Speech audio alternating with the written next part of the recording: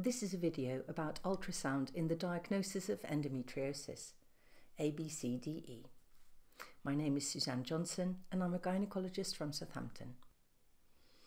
So once you've found a retrocervical nodule, then we need to think, does it involve the posterior fornix and or the lower rectal wall? Here again is the, the, the uterus, the cervix is up there somewhere, here we've got the vagina and I'm looking at this white area in the longitudinal view. This is all fibrosis. And here this retrocervical DIE is adherent to the posterior vaginal fornix and adherent to bowel. And you can see an ovary is stuck into this area uh, as well. Here we've got a nodule of deep infiltrating endometriosis, which is adherent to the posterior vaginal fornix and adherent to bowel and in, involving bowel. And I'll show you that in a moment. There's the nodule of DIE at the torus. There is the attached but uh, not involved posterior vaginal fornix. And here is the bowel wall.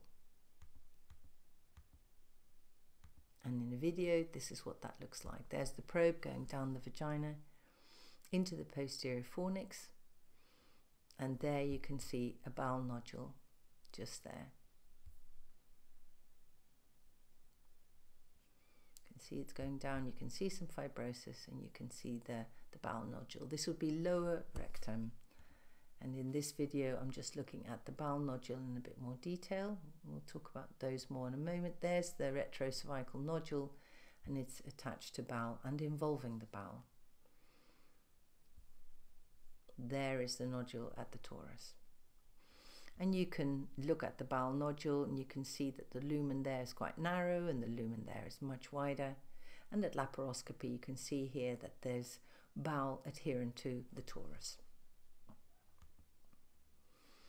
Here we can see some retrocervical DIE which is adherent to the posterior fornix but also involving it and adherent and involving uh, the bowel wall too.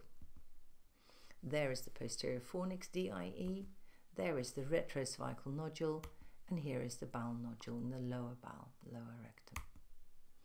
And this is what that looks like on ultrasound.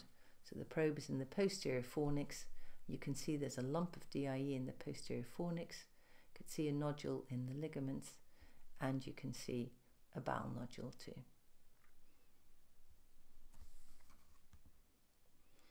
So when you're describing retrocervical DIE, DIE at the torus, you have to say, is it in the torus or maybe in the uterosacral ligaments or in all of them?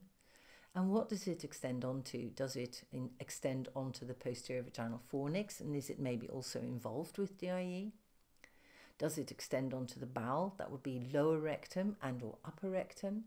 And is it only adherent, serosa, or is it involved, a muscularis layer of the bowel? Or any combination of the above, especially when people have had previous surgery. And that's it. Thank you very much.